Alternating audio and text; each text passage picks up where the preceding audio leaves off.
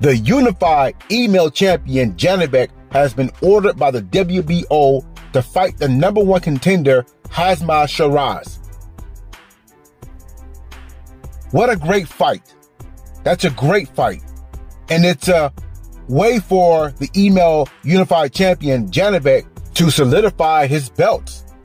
Hamzah Sheeraz has been a conversation. People are talking about him. People are curious about him. People are asking for the champions to give that young man an opportunity to fight for the belts.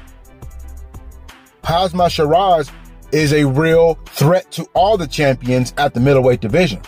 He has earned his shot to fight for a world title.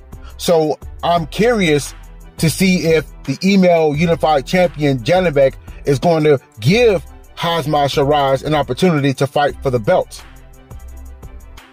This is also an opportunity for the unified email champion Janibek to put a name on his resume. Hamzah Sheeraz is actually a name.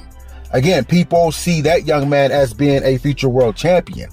So if the unified email champion was able to beat someone like uh, a Hamzah Sheeraz, who's the number one contender, then that would solidify his belts.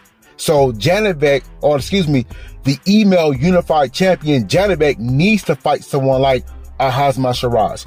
If he can't get the other champions in the ring with him, then he needs to go after the number one contender.